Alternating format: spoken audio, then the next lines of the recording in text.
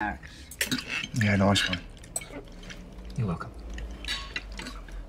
When's Auntie Gwen coming back? I want to show her my new uniform. Dad told you she's gonna wear his mum, haven't they, Dad?